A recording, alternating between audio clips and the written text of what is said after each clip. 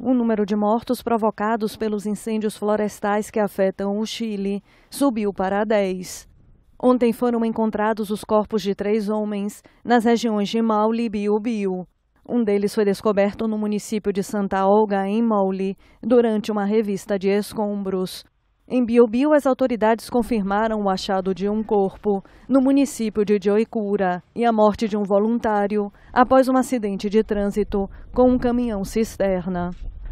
Na quarta-feira, um bombeiro e dois policiais morreram quando trabalhavam na evacuação de habitantes em Moule.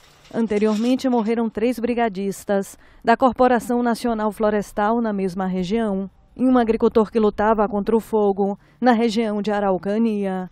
As autoridades informaram ontem que havia no país um total de 103 incêndios florestais, dos quais 53 estavam em fase de combate, 48 sob controle e dois foram extintos.